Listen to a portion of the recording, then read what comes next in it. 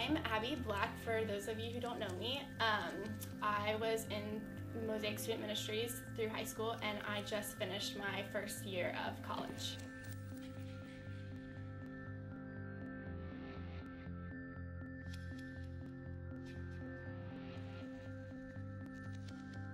So, I just want to share with you guys some things that made a difference in my walk with Christ this year. And the most important thing, I think, is getting involved in community. Right away, I jumped into um, a student ministry called Cru, and um, just being in community just really changed my experience. Um, right away, I um, was a part of, got involved with a small group, and um, in my first semester, somebody really close in my family died, and just it was incredible how people who I barely knew just like rallied around me and like was there to pray for me and to um, just speak truth into my life and was there for me. And um, we're never meant to be Christians alone. And um, in a world where you know it's completely different a big university, it was just really important for me to be a part of the community.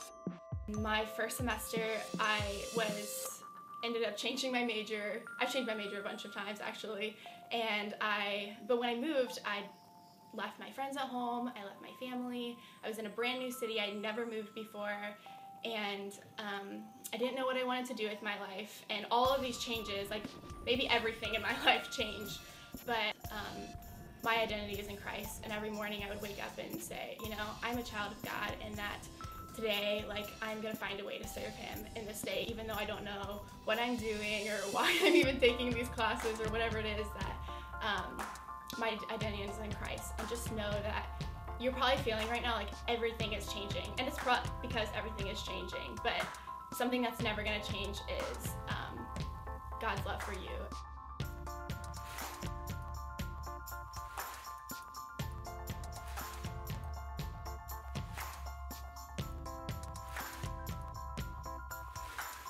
If we are so like set on what we want to do, what we think that our plan is, and that's not what God's plan is for us, then God has to break us of what we want to do and then show us what he wants to do.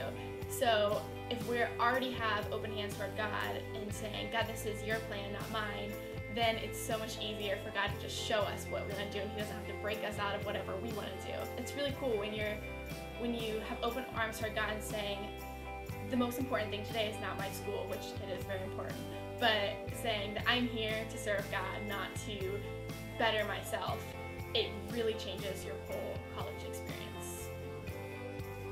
So, to all you seniors, I just want to say congratulations, you made it. And um, just remember to um, remember who you are and that your identity is in Christ, and that um, in this next season of your life, get involved in community and do not um, think that you can do it alone because it's, it's too hard and um, just be willing to let God direct your path and um, say yes to Him when He's calling you to do things that seem